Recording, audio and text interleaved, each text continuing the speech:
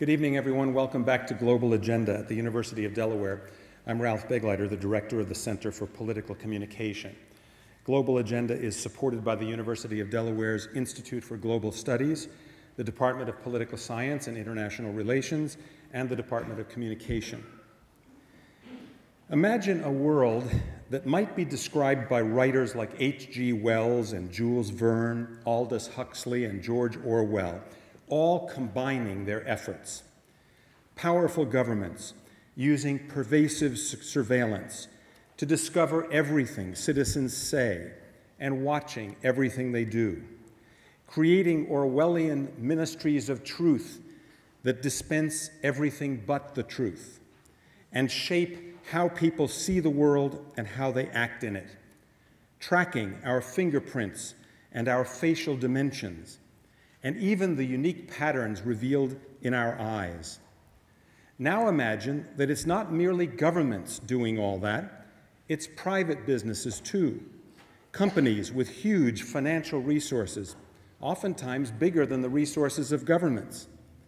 Insurance companies who know our genetic makeup and can limit our coverage based on whether we're likely to develop cancer or autism. Companies that can collect our photos and personal contact lists and even know precisely where we are walking or driving at any moment. And not just in our country, all around the world, able to interact with us instantly, every minute of the day, to influence us to dip into our bank accounts, to shape our tastes in music and movies, able to decide without consequences and even without consulting us, much less getting our approval, whether we're allowed to post our pictures on a website like Flickr or whether we can communicate using technology like Skype. Just a few years ago, this would have sounded like futuristic science fiction. Those authors I mentioned might have, derided, might have been derided as doomsayers, imagining the worst. But today, many of these things are actual reality, both in the United States and elsewhere. And most of us, one way or another, actually buy into it by plugging our cell phones and tablets and computers into the electronic cloud, where all this information flows freely to and from each one of us often without our knowing it. Our guest speaker tonight, Melissa Hathaway, is widely credited with having called attention to this science fiction world among policymakers at the highest level in the United States. She designed the first government wide program systematically dealing with cybersecurity. She launched the Comprehensive National Cybersecurity Initiative in the White House. Uh, in the, in the uh, White House of President George W. Bush. It was then adopted and expanded after President Obama took office. The Cyberspace Policy Review became the blueprint for the United States and other nations around the world. Melissa Hathaway currently teaches and is a senior advisor at the Harvard Kennedy School Belfer Center. She received her Bachelor of Arts degree at American University in Washington in International Relations and Government and studied at the Armed Forces Staff College in Norfolk, Virginia. She's been awarded two major medals for her service to the U.S. government the National Intelligence Reform Medal. She was only the second recipient in history to receive that award. And the National Intelligence Meritorious Unit Citation, which was a team award uh, rewarding her team for transforming government. She received that last December. Please welcome Melissa Hathaway to the University of Delaware. Thanks. It was great. Good evening. Thank you so much for being here this evening, and it's uh, my honor to be here at the University of Delaware, and uh, thank you for the spring evening as well. Uh, um, you never know this time of year up here, do you? Um, I have uh, the opportunity to walk you through a little bit of history and a little bit of um, cybersecurity from my perspective, and I'm looking forward to your questions. Um, many of you may not know that the internet uh, was born from a, a, research and development project at the Advanced Research Projects Agency in 1969. Its first transmission and the, the cartoons around it uh, were uh, thinking that at that time that the internet could be both for good and evil. And the original cartoon has a skull and crossbones, a Batman signal in the sky, and Moby Dick, among other things. And it's really fun to look at the old cartoons of it. Um, and, uh, I, and it was developed uh, for assured communications of the military in the event of a nuclear disaster. And it was never seen as the backbone of the global economy of which we see it today.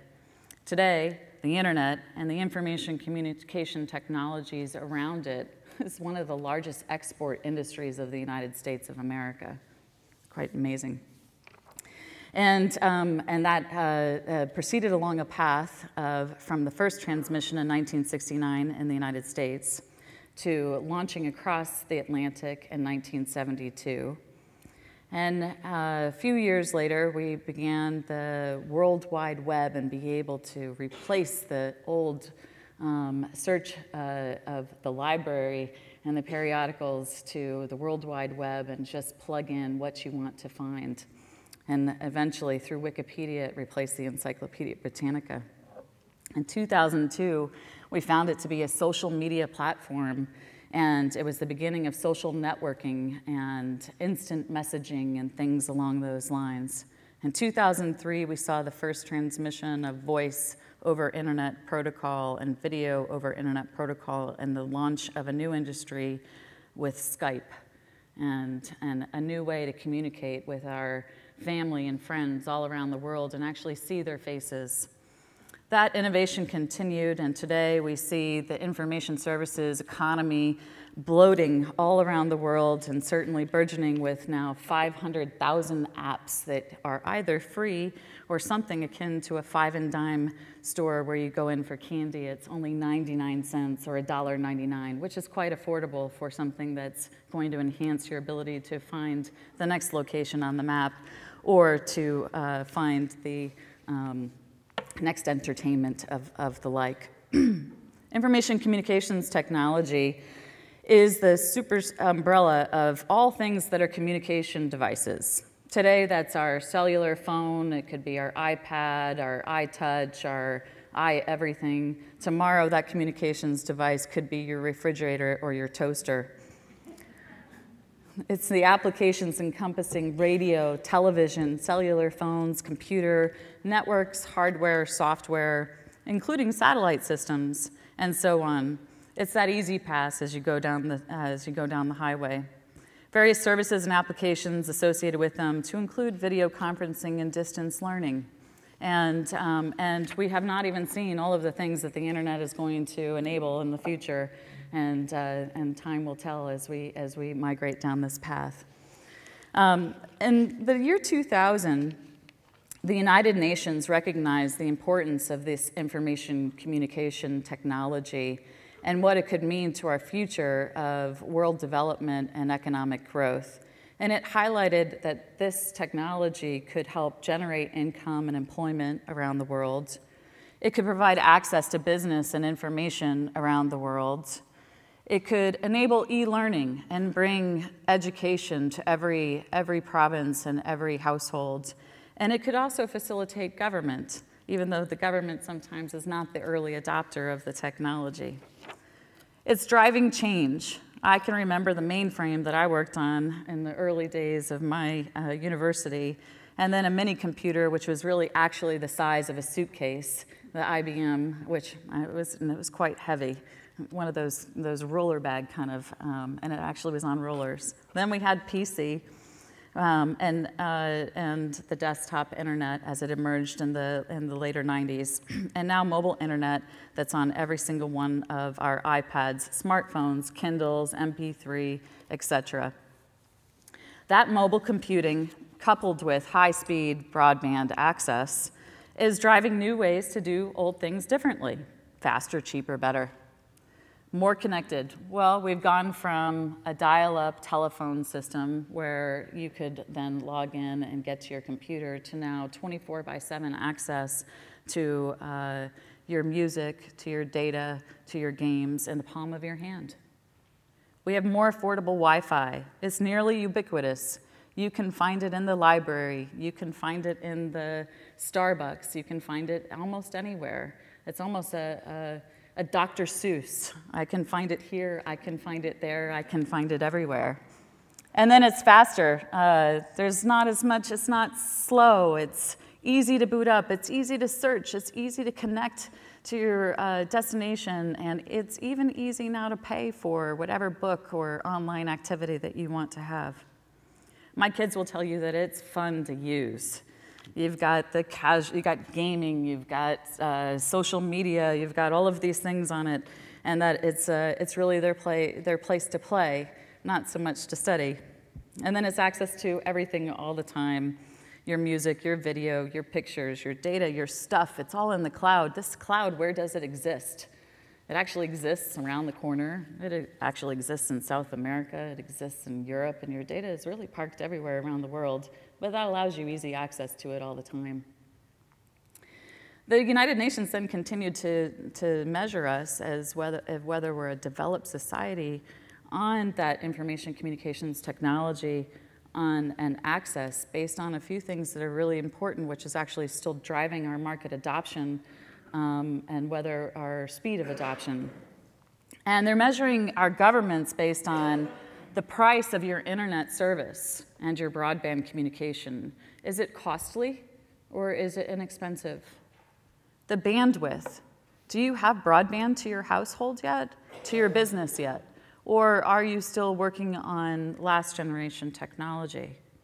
The speed of the service, which really is tied to broadband, the quality of service, not necessarily so, because the quality of service is actually tied to the regulatory environment that governs telecommunications, the plain old telephone that we used to pick up and dial, and not so much necessarily the quality of service that you may receive from your cable internet provider. They're also measuring us, the United Nations is measuring us on whether or not we're using it to develop skills. Are we promoting an e learning environment, e education, and promoting uh, the next generation digital workforce?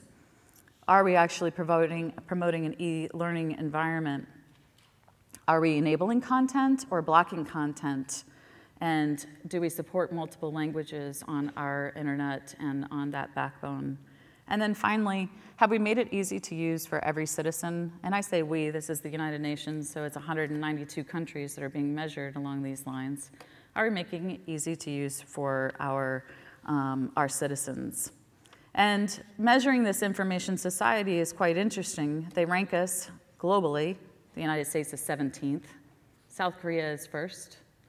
They measure us regionally against uh, uh, and and and and the effort to try to get us to adopt quicker, encourage government funding of the infrastructure, adoption of regulatory environment or an incentive-based environment to enable us to have this as our backbone of our lives, whether it's we're going to work, play, or live online. So the world is now increasingly at the palm of your hands, 24 by 7. It's easy to use and you expect it as a citizen. And in some countries, like Sweden, it's now a constitutional right to have it. You have the ability to have 24 by 7 high speed internet access uh, at, at your home, at your work, and it's a citizen right. Can you imagine that being a constitutional right here? I actually can. We actually, I think, uh, implicitly expect it. But with that comes um, its attendant risks. We have opted into this technology. We developed this technology. We have embedded this technology in every part of our life, and we've put every part of, the, of our United States infrastructure into that internet.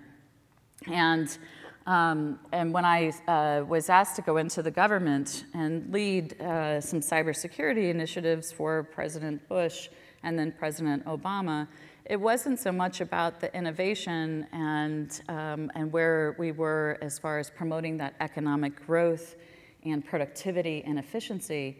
it's what was the attendant risk that it brought with it that we may not have, uh, have looked at and thought about back when we decided we were going to move in that direction.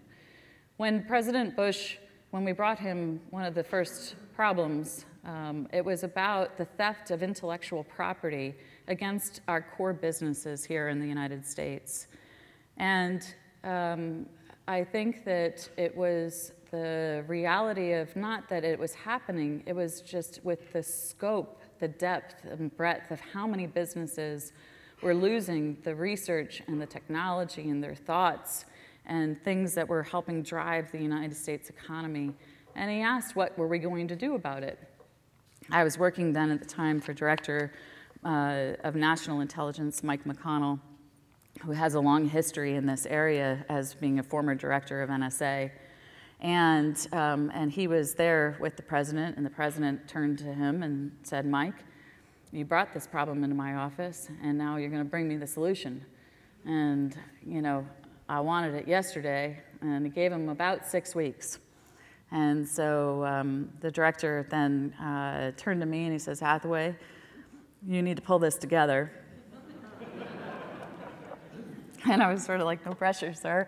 Um, I, uh, I will do my best. And, um, and so what we did was we took uh, um, an all of government approach because this isn't just the military's responsibility and it's not just the State Department's responsibility. There are all these different agencies that have a responsibility to address the security of our country and affect the, the innovation agenda with a, with a security conversation around it going forward.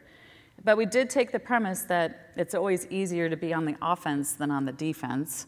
And offensively, the United States is pretty good at this. Um, and uh, so why don't we have offense-informed defense? And, uh, and so we took a look at how um, the defense requires that good understanding of what are we going to bring to the game. Well, we, what do we bring to the game? Well, we can bring stuff over the internet and through the internet. Those are the viruses and the, the malware and other things that come through the internet.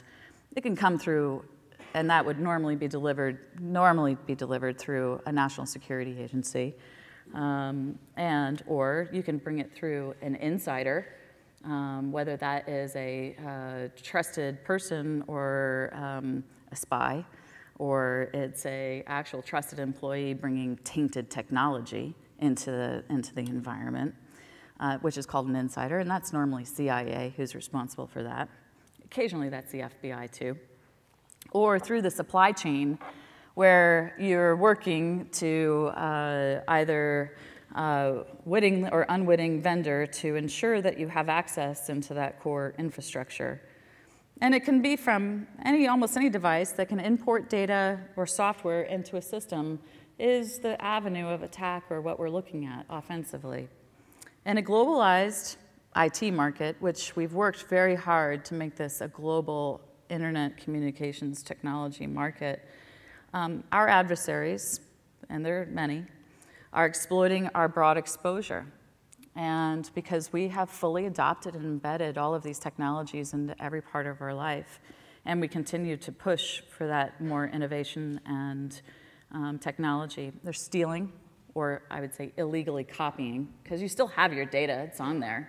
It's, but they've got a copy too, and it's who's first to market. So information from a target, and my target is either my BlackBerry or your computer or pick the thing. They can corrupt the integrity of this information or the system. And so you no longer trust that that data is accurate. If anybody's had a corrupted file, I had one actually presenting uh, for a paper this week where my PowerPoint presentation got an infection and it decided to eat my data. And so I don't think that was deliberate, but you never know. And then, or deny the owner of the system. And many of us uh, think about that as distributed denial of service, where you've basically flooded the information or flooded the system so it can't really communicate to the outside world. In the old days of the telephone system, that would be the busy signal. And, uh, and now that's really, you know, you can't get out to the internet. So what's at stake? If you're a corporation, it could be your reputation, your brand, your ability to grow the, the environment or grow the technology or grow your market. It could be your price point. How competitive a price point do you have? Your market presence, your customer confidence. If you don't have access, your internet access, and you have a distributed denial of service, that could be customer confidence. Or if you're a bank and you lose your money, that could also be customer confidence. It could be your price of entry into a market. You just spent $10 billion on research and development, and it walked out the door, whether it was on a thumb drive or through the internet. Um, so price of entry could gone up to repeat it or get to the time to market. Could be your competitiveness. Somebody else stole your plans and produced it cheaper, faster, better. Um, from a quality of service and or from an internet or from somebody, a utility, energy, uh, water, something that you're expecting to have 24 by 7, could be the quality of it. For your water, it's not poisoned. Uh, quality of protection, um, you're expecting your, um, your, the currency of, uh, of the electrons coming through your wall to plug in uh, is, is going to be steady and not uh, blow up when you plug in your utility into the wall. Business continuity. And then if you're in the military or in the government, it could be actual lives um, and or the morale and uh, the existence of battlefield communications. Uh, and we're certainly seeing some of that. So I'm going to walk you through just a couple of examples to try to make it real. Um, and uh, first is insider, that unauthorized use or access to information systems networks by people who are either trusted employees bringing in a tainted technology or um, real spies. And uh, uh, last fall, um, the then Deputy Secretary of Defense, Bill Lynn, disclosed um, a breach that we had in the United States classified um, networks. And they were penetrated through a tainted technology that was brought in through our troops. And that tainted technology, well, I wish I had my pocketbook, was a thumb drive. So this little media device that a lot of us now use for porting data back and forth, and or I know I put pictures on it and take it to um, the film store to print my pictures because I still believe in paper. Um, but at any rate, uh, this thumb drive was tainted with uh, uh, basically a backdoor. So when you put it into the classified system, it would then create a, a conduit for um, another country to come in and steal or try to access those systems. That was called Operation Buckshot Yankee. And I have to tell you, it was a life event for all of us in the government because we didn't have the ability to detect it because we were never looking for the inside going out. We were only looking for the outside going in. And we spent thousands and thousands of hours just, just to see how big or wide that breach was, if we had lost any data, and what we were going to do about it. And, um, and that caused a number of policy and then technology changes within the military and the Department of Defense. And ultimately, it affected our ability to um, do some operations overseas because we uh, weren't able to move data between and among our soldiers. And one of the things you may have heard most um, and hear a lot about is uh, WikiLeaks. Well, WikiLeaks was actually conducted by a trusted person, insider, who followed some of the rules and then broke the rules. And it was interesting. So Bradley Manning actually used a DVD to transit the data. So he got, he wrote a letter, get permission to take the DVD and listen to music while he's sitting overnight and guarding the data. Um, and he got permission to bring the DVD in. It was just never supposed to have a writable DVD and take it out with all of the data. And so um, it was actually classic of a real insider, a trusted employee who actually broke the rules. And that resulted in uh, transmission and a lot of a big leak of classified material, restricted access material, 250,000 diplomatic cables, and, uh, and actually quite embarrassing for the United States government. On a corporate level, um, there was a disgruntled employee of a major um, defense manufacturer who actually was charged with the theft of stealing 320,000 uh, sensitive company files over the course of two years. It came out on a thumb drive, and uh, the stolen documents if, uh, were given to competitors, and it cost the company between $5 billion and $15 billion in lost revenue. That's real money. So the insider threat if you were to go to popular culture, was foreshadowed in a movie by Sandra Bullock called The Net. I hope some of you have seen it. I date myself with some of these movies. At any rate, Sandra worked for a uh, commercial software company and was working on a game. And the game uh, was on a DVD. And when you plugged in that DVD, it actually gave access, a backdoor into that information system. And all you had to do was type the password and allowed access, and so therefore you can pull all the data out. And so I encourage you to think about what are the things that you're putting in the devices into your computers and enterprises, and what might it be pulling out, and what you might not know if you're not looking for what's going from the inside out, because we're mostly looking at from the outside in. The second was proximity access. So proximity is uh, anywhere in here, you may have a device, uh, your BlackBerry, a computer, whatever, and it's most likely Wi-Fi enabled. And, um, and uh, if I have the appropriate device, I could probably steal everything off of it in another minute or two. Why would I want to do that? Well, some of you, I might want your contacts lists uh, because I, um, I want to uh, have access to your social network. Um, some of you might have your password stored on it. Increasingly, you have your banking data on it, or credit card, or other things, and so I want to steal that data. And uh, for many of those devices, they um, are not protected uh, because we haven't designed them as such. And uh, I'll give you uh, just two examples of proximity. Uh, uh, one is the TJ Maxx and Marshalls um, when we were first uh, employing Wi-Fi networks about a decade ago. They had it in their, um, in, their home, in their store. And at the end of the day, they were going to transmit all of the transactions to the bank. But they were doing it unencrypted, so clear, clear text. And in the, in the parking lot was criminals who were, had the right device, and they intercepted it. And um, it was a bad day for TJ Maxx uh, and Marshalls. It cost them uh, more than a billion dollars to uh, replace all the credit cards, a free shopping day for all of those people who had lost their credit cards, and uh, several class action suits. It was one of the largest customer uh, data breaches for uh, 96 million credit cards. But what it did also was let a backdoor into the overall payment system.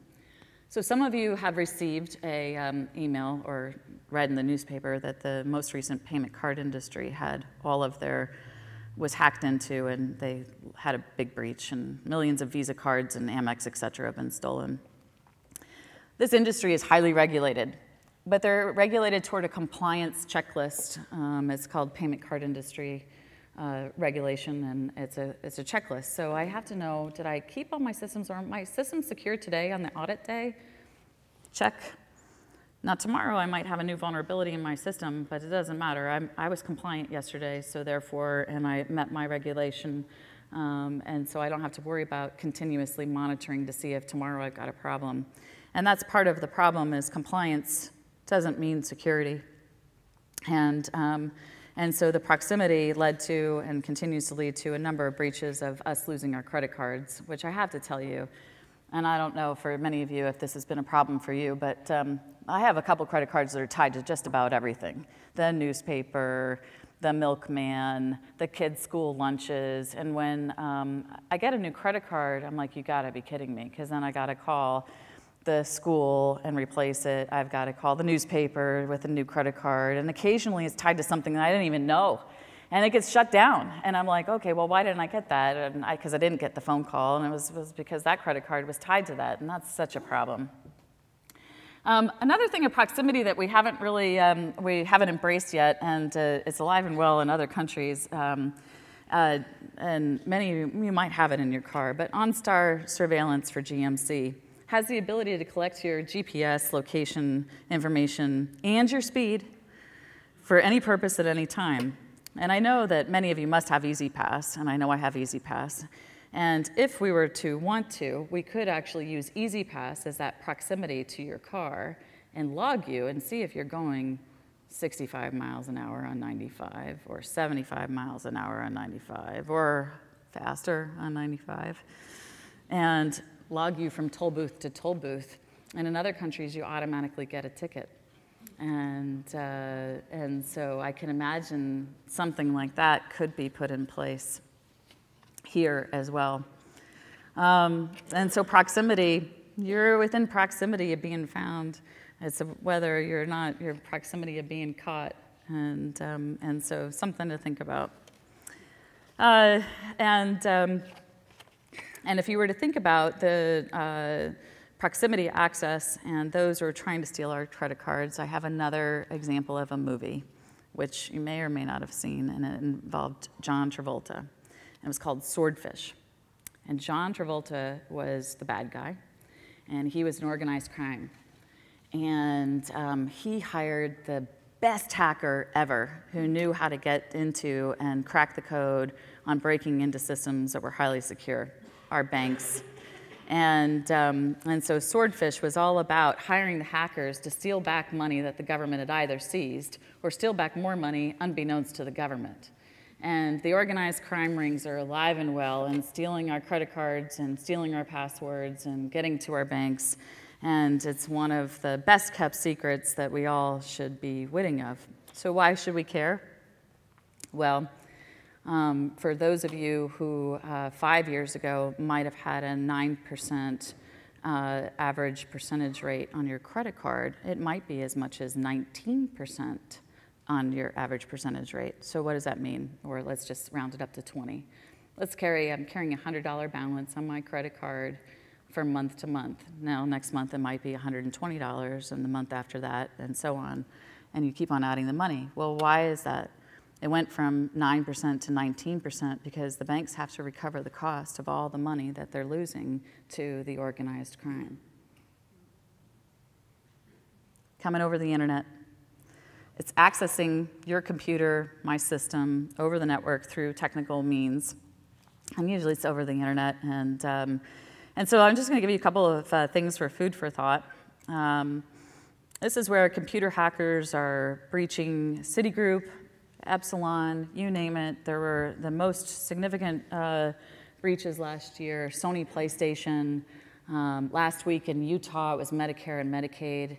And they're coming over the internet and tricking us to click on a link and so that they can get our passwords, get our social security numbers, assume our identity, and, um, and, then, and then benefit from that.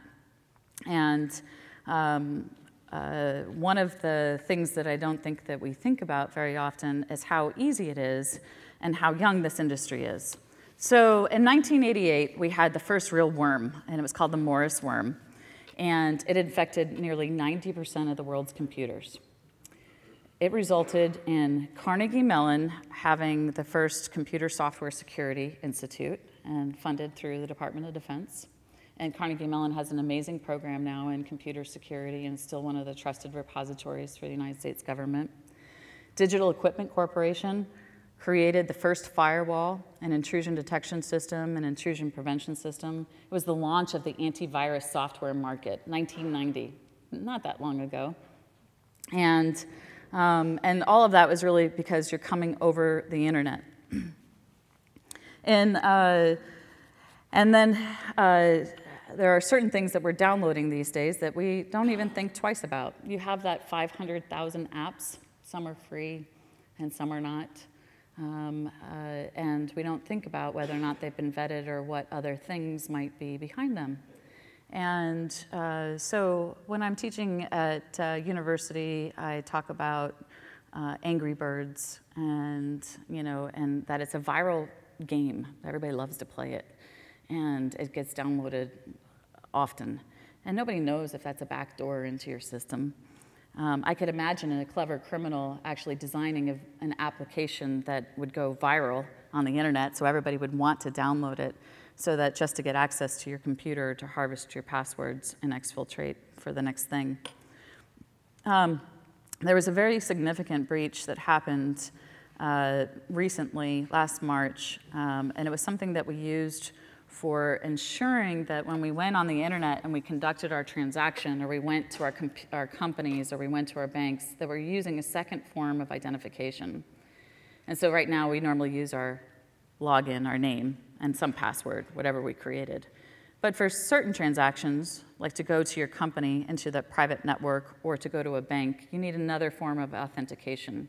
Um, and uh, usually this is a eight-digit code that's on a key fob. And I'm talking about a token. This one I'm talking about RSA. And so many of you might have this, and it changes. The number changes every 30 seconds or every 60 seconds. Um, my husband has it for his firm, and, and actually, most banks have it, and most companies have some second form of authentication. Well, what is that? It's actually the key, the second key, and it's really the key to the house. And if that's stolen, um, then I don't need your name or password really. I can actually, because I can figure that out pretty quickly. I have the key to the house, I can go in and I can take whatever I need. And so that second factor authentication now is uh, is, is now challenging our thought of what is security on the internet in a secure transaction when we need that second form of authentication. Now, um, there are some fixes to that. In Bulgaria, they're pretty clever because they're dealing with a lot of organized crime there. And what they've done, if we go to an ATM machine, and you no longer just need your card and your PIN, but you also have to have your cell phone on, and it'll geolocate you to that, in fact, terminal so they know it's you, because it's your phone, with the card, with the PIN. Because I can pretty easily steal the card and the PIN, but I can't really easily steal your phone yet, and all of that, or geolocate you to the specific terminal. So that's one way around in getting to a second form of authentication. There's a, a great movie uh, that talked about the importance of that authentication and the cryptography around it, and it was called Sneakers with Robert Redford and Ben Kingsley and Dan Aykroyd. And it was a great movie. And Ben Kingsley was the bad guy, and he had the magic key to the kingdom that could read and see anything if he stole it.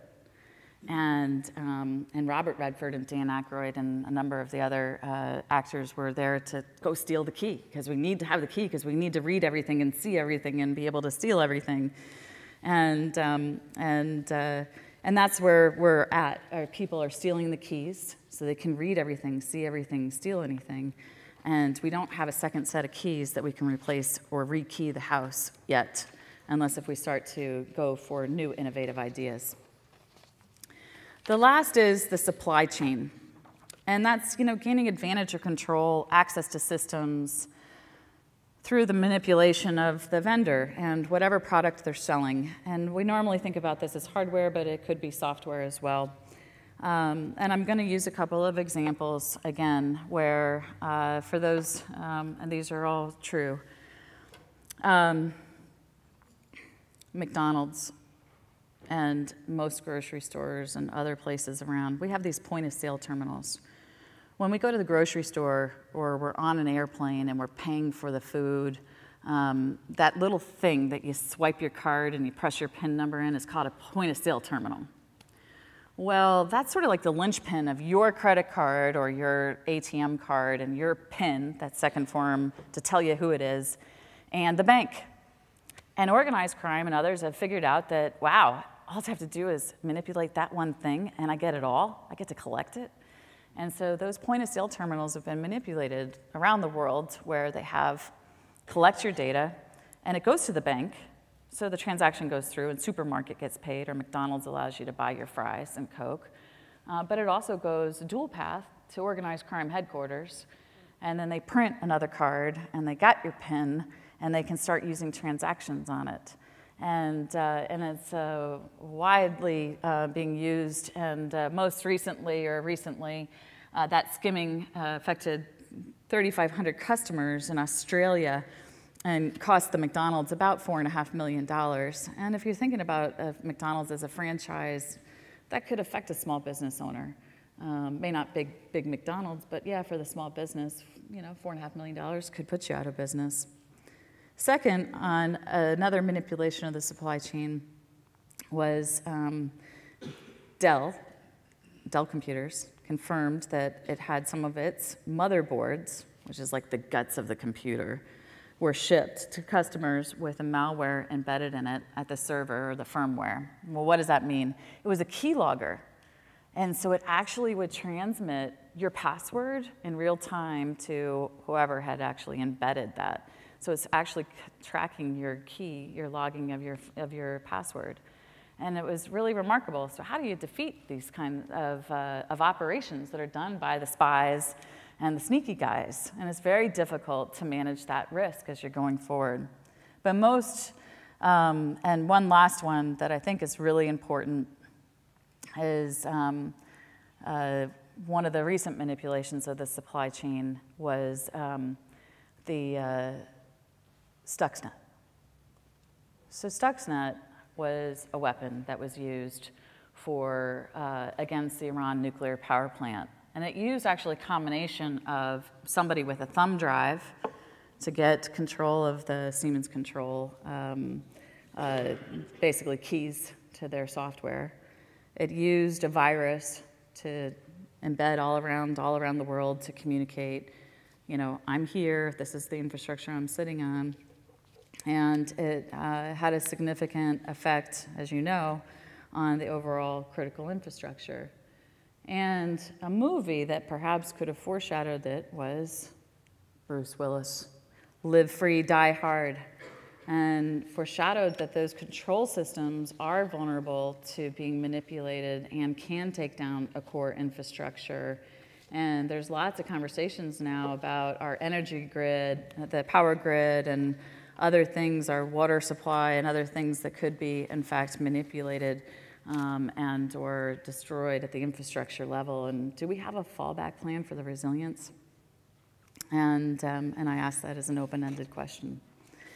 Um, so we've opted in to a lot of this technology for fun uh, because we needed to, um, uh, to access information, to uh, miniaturize uh, our data and everything. And we've seen a convergence of two forces productivity, efficiency, innovation, modernization on one side, and uh, a national security conversation that's emerging of what about my critical infrastructure?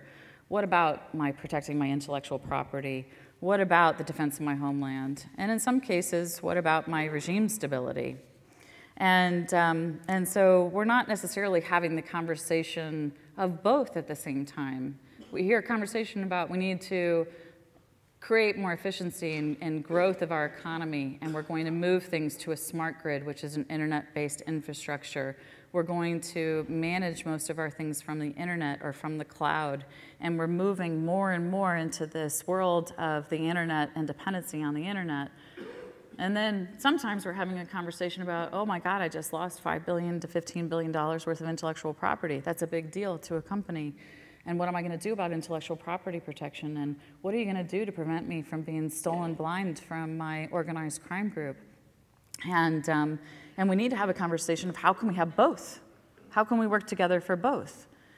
And um, I'm going to use uh, two examples that I hope um, will make you think uh, about this a little bit more. And um, the first is resiliency and that infrastructure. And about a year ago, year ago holiday season, I was shopping for Legos on Christmas Eve with my son, Alexander. And he was 11. And uh, there's a very long line. And I don't normally, I'm never, I'm never at the mall on Christmas Eve. Uh, and so I didn't really know what to expect. And there's about 20 some odd people online. But I've got my thing, and it's Alexander's present for his younger brother. And it's all good. But the store manager comes up and he says, Ma'am, it's going to be a while. And I was like, Well, I can see it. There's 20 people ahead of me. I can see it's going to be a while. You know, um, it's going to be a while because the server is down.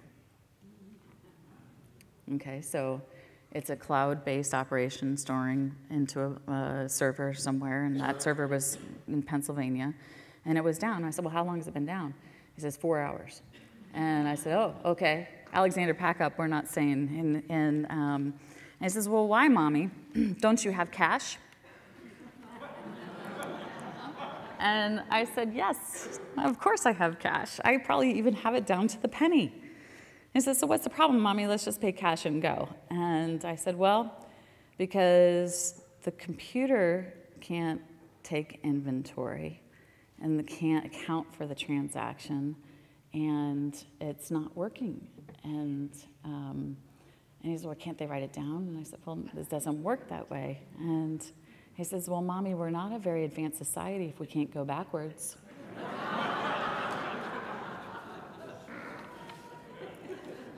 That's right, Alexander. We're, we're going now. So, um, and, uh, and I'd like to just call attention as we're putting more and more stuff into the cloud.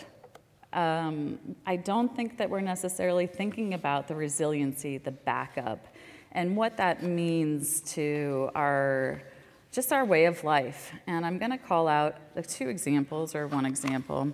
And one, I think, and there's sort of both seminal events. So uh, many people use Google, and uh, many of you may know that on the 1st of March, Google decided to merge all of their platforms. Um, and so your Google Mail with uh, your Google searches and your whole Google profile kind of merged in a convergence of everything about you online. And, um, and it was part of that uh, the portrait that it can paint of you, uh, I think that not many people really realize. And why do I call this out? Well, um, you have opted in to giving away your privacy. And, um, and not many people realize that. So let's just say, what does that mean, Melissa? I don't understand. Okay, so you're on Gmail, which you've given, been given as a free service. And somewhere in that agreement says that they're going to monitor you. I would call it surveillance, but monitor you for what you're doing, and they're going to sell that data.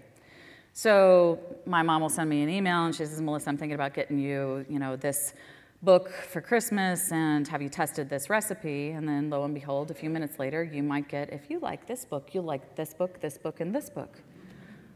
Or if you've tested this chocolate chip recipe, you might like to try this recipe and this recipe. And you're like, well, how do they know that? Well, because they're data mining your data, and because you got something for free, but there really was a cost to it. And, um, and I have to tell you, I don't, use, um, I don't use Gmail very often, and they gave us an opportunity on 1 March to potentially opt out of some of these features, but they've made it very difficult to opt out of some of those features, and I consider myself a pretty computer literate person. Um, the second is uh, maybe a little bit more um, in, insidious because um, we have so many of our uh, kids, teenagers, and others working off of Facebook. Facebook is really this alternate reality, if you ask me, on um, you know, uh, uh, this other life. You know, I don't need to meet you in the cafe anymore for coffee because we can meet online. And I don't need to think about, you know, going to the farm because I got a FarmVille. And I don't need to think about money because I have some fake money that I get to use on Facebook. And there are other alternative uh, reality things like Second Life and, um, and Minecraft and others. And uh, so I just want to highlight that um, if you have not thought about your privacy on this, uh, then you need to think about it because when you sign up, it automatically makes everything in the public and in the clear. And for those of you who are parents, I'd like to just call out one most disturbing app that was called to my attention just a few days ago. And it's called Girls Around Me. And it takes advantage of those public profiles and the Foursquare uh, feature within it and if you sit in a public face and there's a female out there using and has her Facebook feature on time, it will geolocate you and tell you everything about her as she walks by or she's in the vicinity. And so it's an avenue where I grew up with you don't talk to strangers and you don't allow people into your private life. We don't have the same digital uh, learning happening and awareness happening of I'm not sure that the women or men, and as they have that feature enabled, actually know that they could be stalked. In the United Kingdom, they've invented a game to make it viral to bring that awareness about those teenagers, and it's called Smokescreen.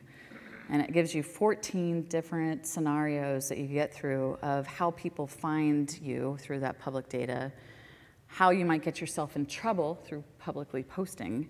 Like, I'm going to have a party on Friday night, and Instead of the 10 friends that you thought were coming, you have 200 friends come.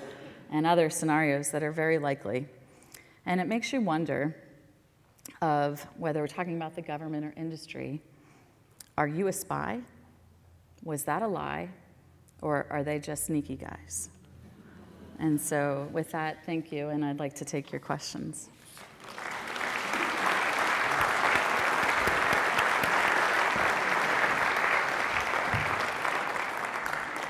Thank you, Melissa.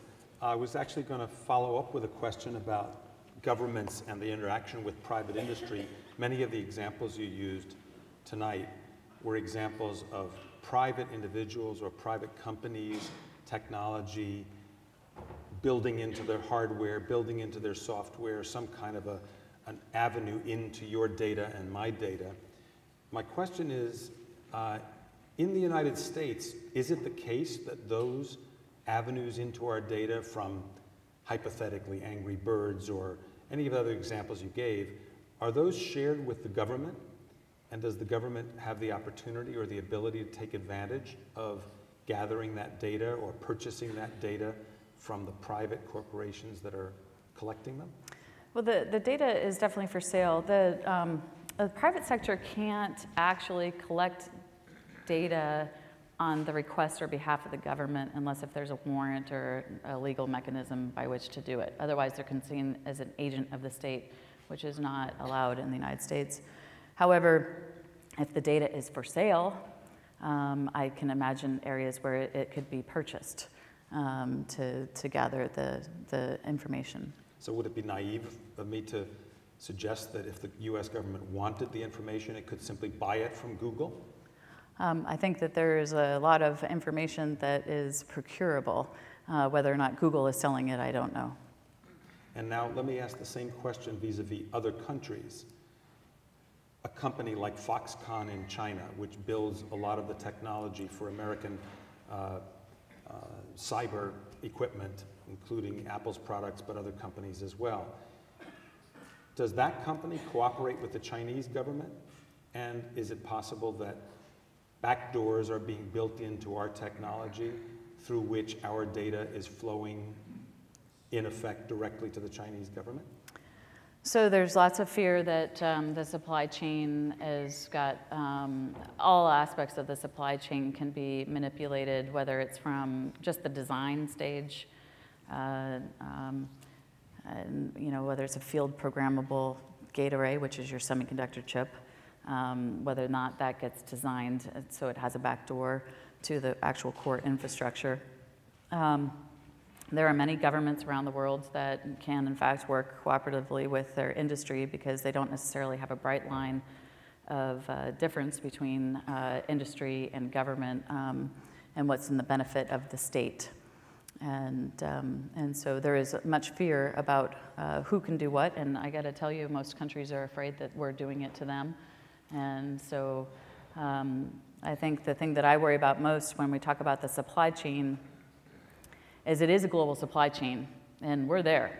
And undoing it is, is not going to be uh, something that is uh, cost effective. So as we're moving for efficiency, productivity, and price point, and speed of use, and 24 by 7, bring your own device to wherever you're going to be, uh, you have to think about how do you manage the risk along multiple levels corporate responsibility and national responsibility, and, um, and it needs to be a collective international responsibility. And are we, as a country, gathering data on other countries through the companies in those countries that manufacture the products we ask them to manufacture?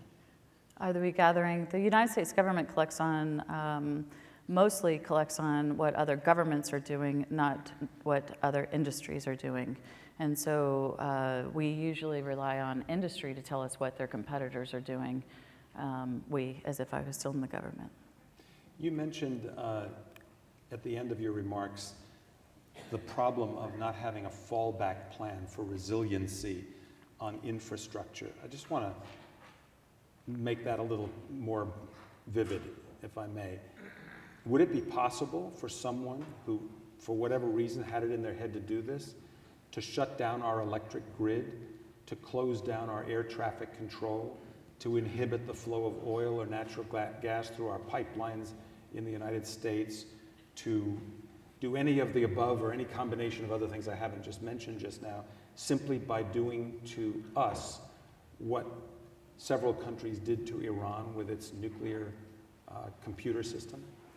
Uh, with the uh, right amount of money or expertise, which is viable on the internet, um, and creativity, it's our, infrastructure, our critical infrastructure is vulnerable to attack.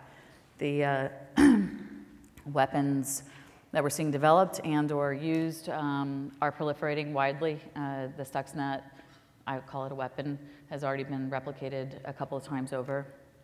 And um, you can't determine who will use it. I think it's a question of when it will be used or something like that to take down the, a, a critical infrastructure. And yes, the United States is vulnerable.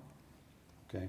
I got to ask you this. This is a silly question, but what would my toaster have to say to the internet? I mean, who would want to know what my toaster is doing? You laugh. I, you know, I, I don't, I should have done the research. I, um, so everything is going to have an internet protocol address uh, and uh, assigned to it in the future, and we're getting into that. Um, and so why would it have, a, why would you care? Well, as we're moving into the smart grid house of the future, you could um, have left the toaster plugged in and perhaps it's using a micro piece of energy um, just to keep the plug hot and or your refrigerator or your heating and you're going to be able to control your smart grid house from wherever you are over the internet. And, um, and so you can turn on the oven to make sure it's hot when you come home. Um, you can turn up the heat, uh, you know, as you're sitting in traffic and, and all of these things, on and off the lights, and you can monitor it. It's in, supposed to help you encourage to use less energy because you can check on it during the day and, all, and can see your consumption rates and control your life in a better way. Um, and so your toaster and everything in the future will have an IP address. Um, and I worry about that because uh, it gives a whole new meaning of being in the room with a computer and I could be in the neighborhood and drive down and I could search into your house through the, my computer because I know how to use it, turn on your lights or turn off your lights or turn up your heat or uh, break in if I needed to. And, um, uh, and so I worry about that. And so, um, and what I worry about probably even more is let's just say somebody really wants to do harm. Um, uh, our power grid is, and the power companies are very used to dealing with um, the power, uh, like everybody getting up in the morning rush hour and Super Bowl Sunday all the TVs are on and everything. So the, the whole kind of the superpower consumption. Uh, but what they're not used to is having everything turn off because the energy is a flow system, put and take, 10% variable. And so if everything turns off, it's all got to go somewhere. And, um, and so as we move to smart grid, we haven't necessarily designed enough of the smart system around it to regulate the puts and takes to enable, and if somebody wanted to do something nefarious, it would be a problem.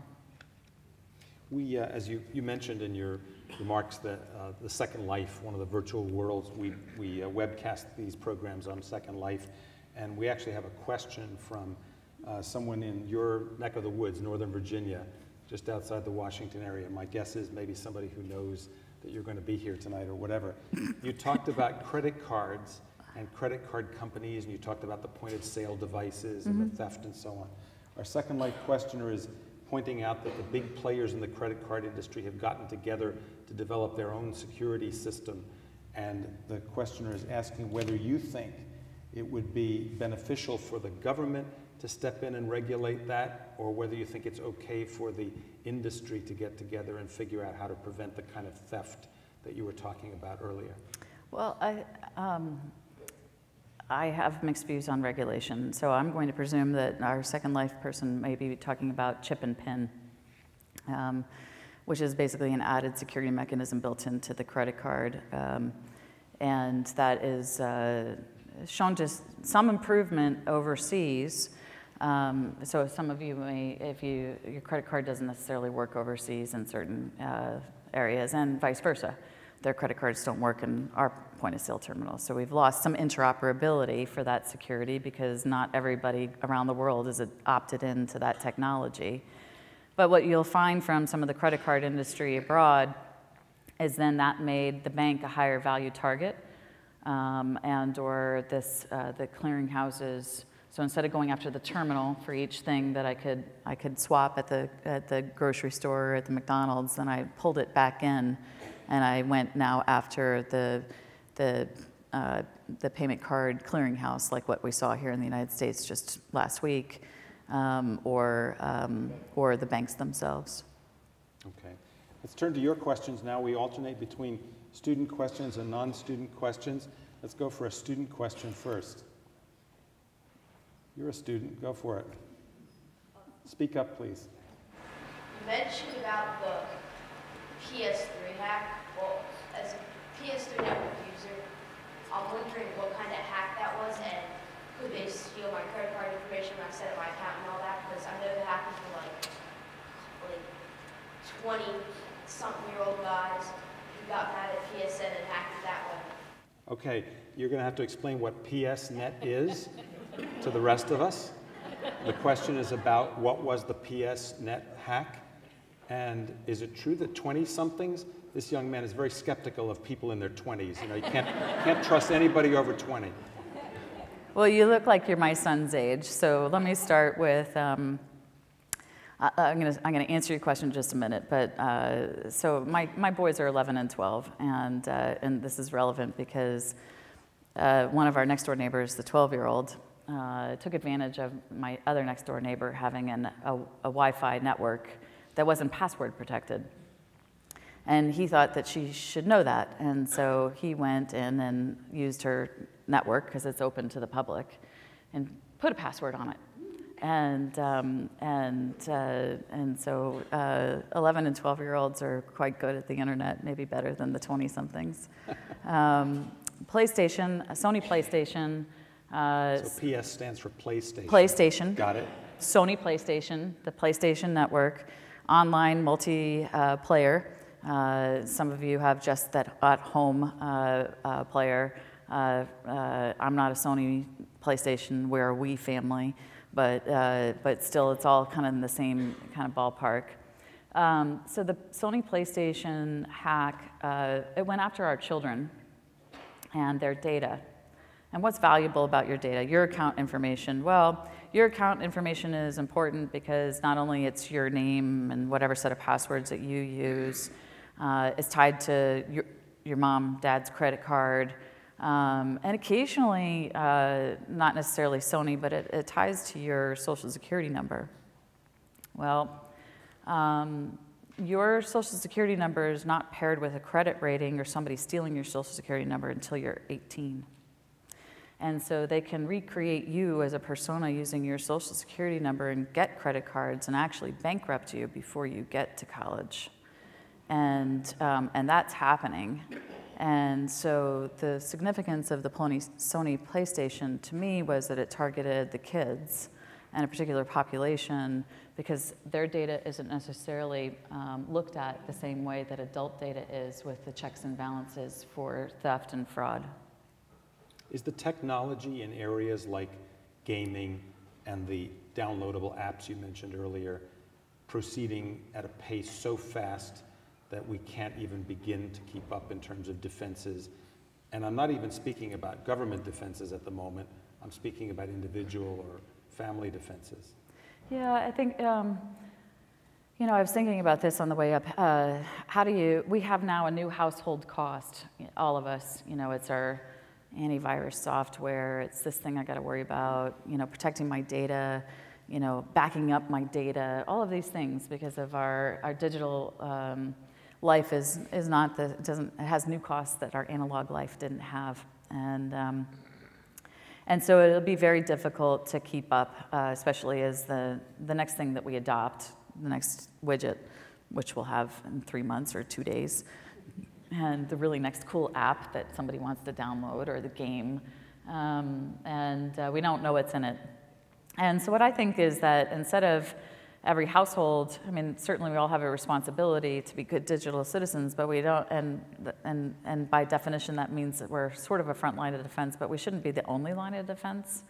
And some of you have, um, uh, your internet service providers have, um, are providing you with a service of more security Um, and that's helping you remove the viruses, make sure the viruses don't get to your computer. It's telling you if you have an infection on your computer. Um, and uh, it's providing you with a service to help you ensure that you have a clean internet experience. And, um, and many of them have, uh, like Cox Cable and others, have opted into doing this as a service to you. I think that that managed security service that we should ask them, our cable providers, our internet providers, to give us with a clean experience on the internet, at least do as much as they can. And I think that they can do more. And um, as citizens have a demand curve for that because you really don't want to be going to the Best Buy or pick your place to get the latest and greatest antivirus and the latest technology to protect me from X and another one for Y and another one for Z. Can't we make it so that the bit stream of the ones and zeros that are going to your computer and et cetera, that those who are the pipes and the delivery mechanism can actually help provide you a more secure service? Let's take a question from a non-student. Yes, ma'am. Uh, you mentioned Gmail and uh, that they sell commercially.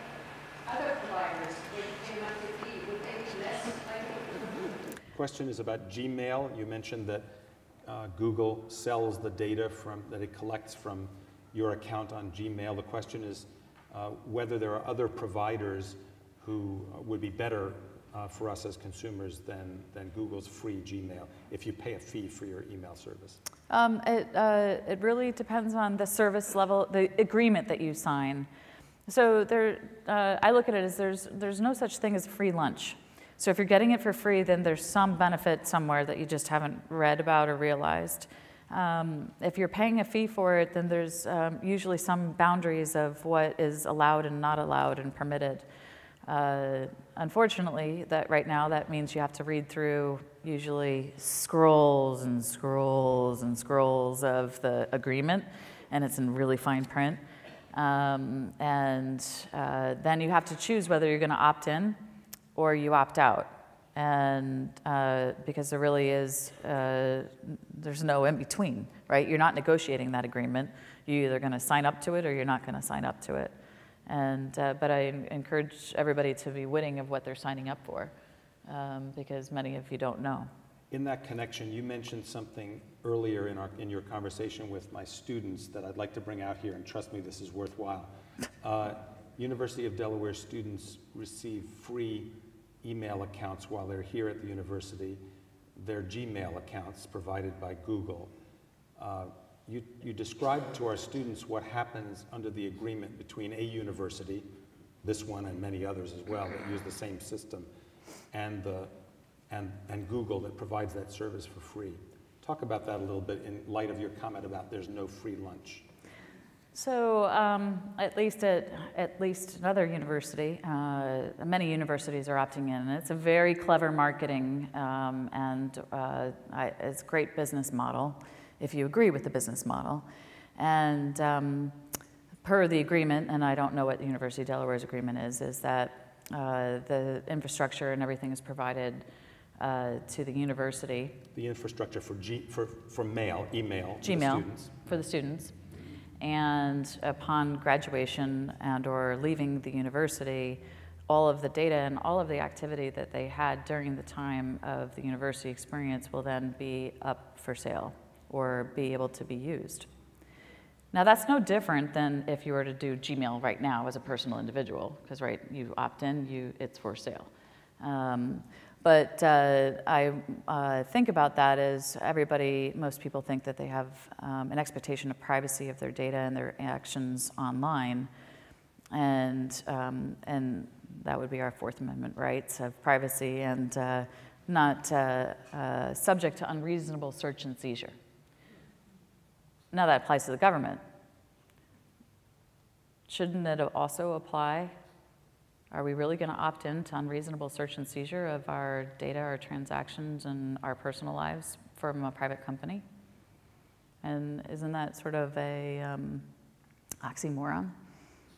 Um, and if you're a university student required to have an email account under the university system, do you really have an option of opting out? Uh, you, I, I would think um, there should be at minimum a disclosure statement by the university that would say that um, informing the students that this is what's going to happen. And for many state schools, I think that it would be important that if that student were to choose to opt out of that, that there would be some secondary option that would give them some other attendant benefits or the same provision of service. Okay, question from a student. Question from a student? Yes, sir. Yeah, I'm a senior communications major about to enter the job atmosphere, and of course, a lot of students are really interested in private information and the employee agencies finding out stuff on Facebook, stuff on Twitter, and they have the ability to find out what goes on in the student's private life. My question, on the contrary, is that is there a way for students to turn the tides and look into employees and maybe find out private information about them in order to get a foot up on, say, a job application and see what kind Okay, student uh, who's getting ready to graduate and is starting to look for jobs, knowing that employers can search his Facebook account and his email data and so on and so forth, is asking whether it's possible for students to turn the tables and investigate the companies that they're looking at for employee, employment and find out the dirt on those companies using the same techniques. Oh, you know, the internet is a great place to find data. And um, so uh, I don't subscribe to it to tit for tat, but yes, I mean, uh, you know, if you're going to go interview with a publicly held company, go pull their SEC filing. What did they report as risks? What did they lose? How many lawsuits do they have? How are they settling them? What do they see as their competitors? What are they worried about? All of that has to be publicly disclosed. If they're not public, um, you know, private companies still have news being reported on them. Go see what's on their website. Uh, do your own set of market analysis, and you can go into an interview very well armed, and um, do your research. Uh, not many, not many people do enough research on the employer and and do like the SEC and other things to do that research on what people are being paid. All of that is online.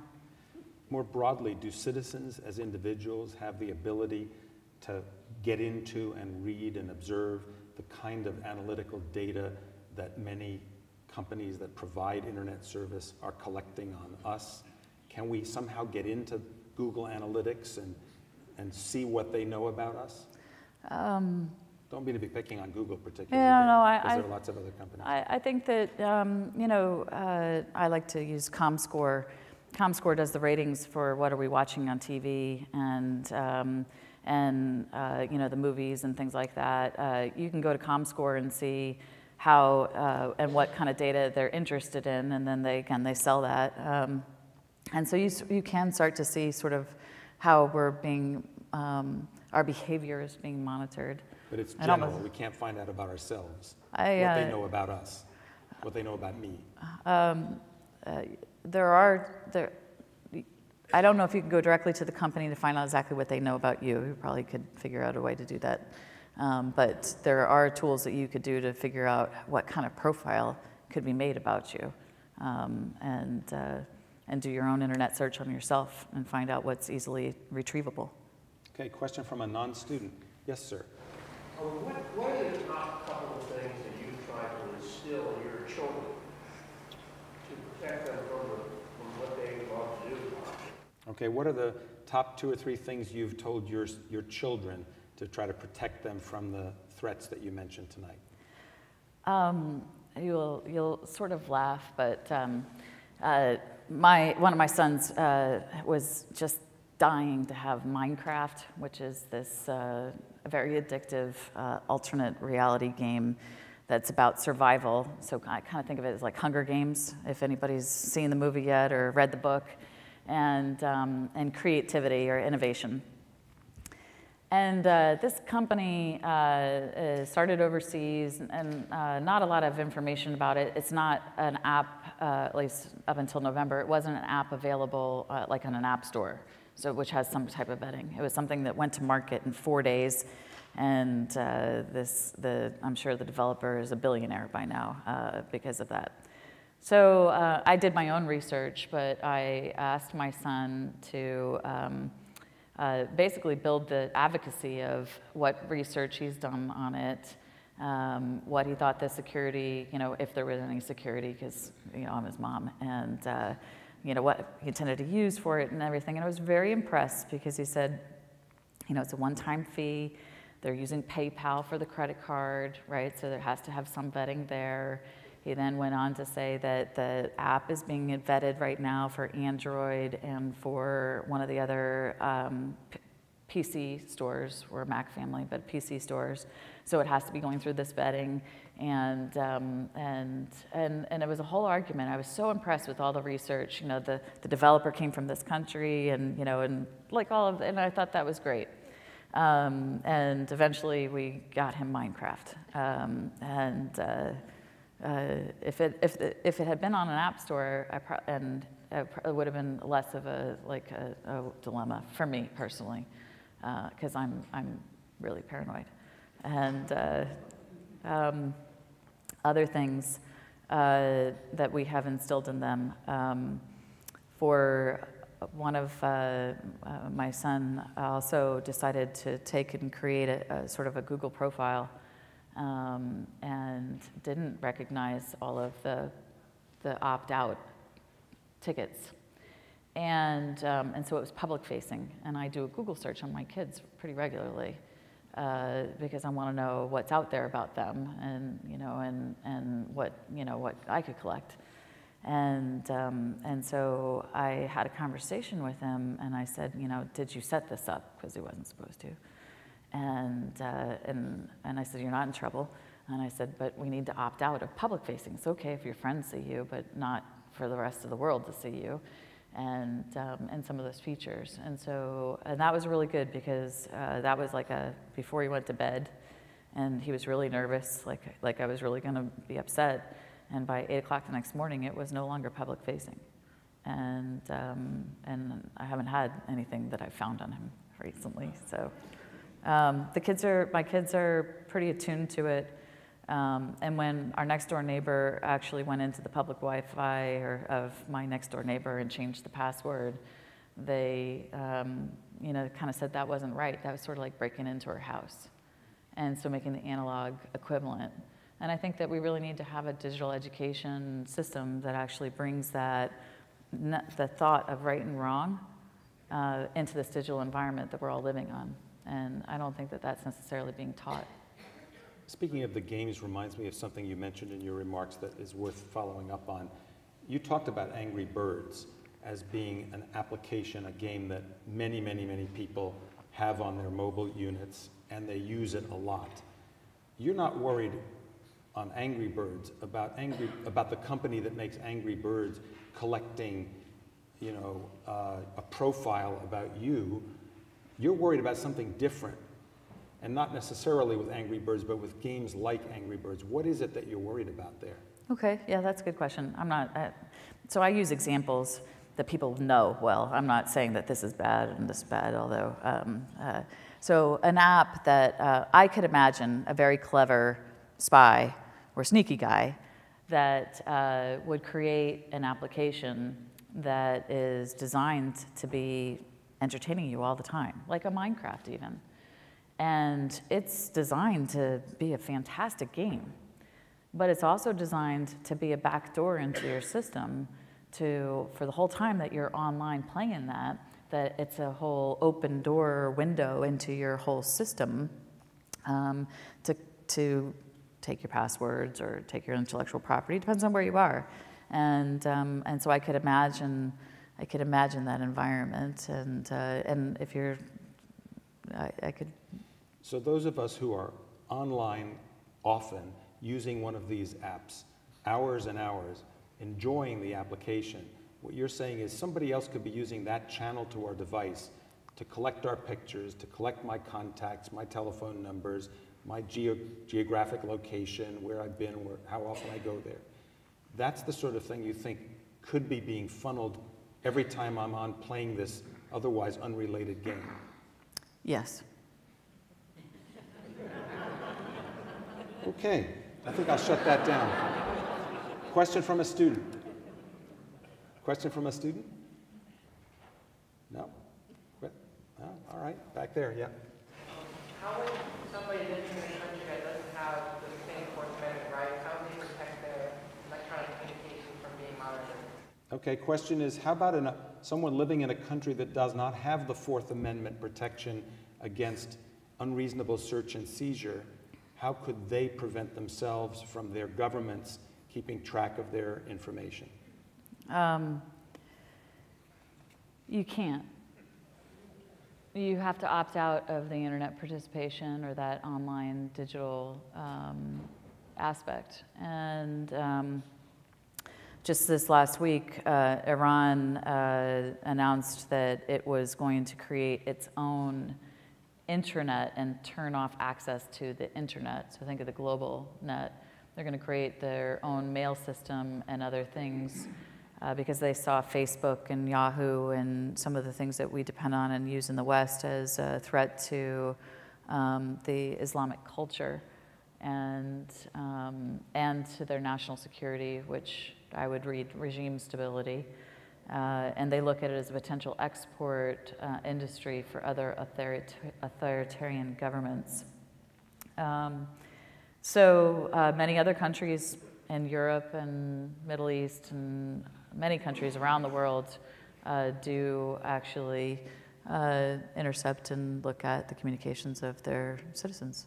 And Russia's already got its own internet system in its own language, and China, China. has its own Facebook and so on. Uh, so that would Iran wouldn't be the first time for that sort of thing. That's right. Um, but let me turn the question on its head and ask you: Wouldn't it be possible for the U.S. government, setting aside the political aspect of it for a minute, wouldn't it be possible for the United States government also to abruptly curtail service access to Facebook or access to Gmail or access to the GPS satellite system or anything of that sort? If, uh, yes, um, uh, it, the art of the possible. Um, technologically, it's technologically, it's uh, now um, it's very difficult uh, to shut, and, and people think that there's an op- you could shut off or down or there's a kill switch to the internet. Let me just, it, that does not exist. But you can in fact block access to parts of the internet and or content and things like that. That's all technically possible. And many countries do that They already. do, yes. Okay. And in the United States, we do for um, child pornography and, um, and other types of what we've already categorized as illegal behavior. Uh, we, uh, the internet service providers have a mandate to report it and to not allow it on their infrastructures.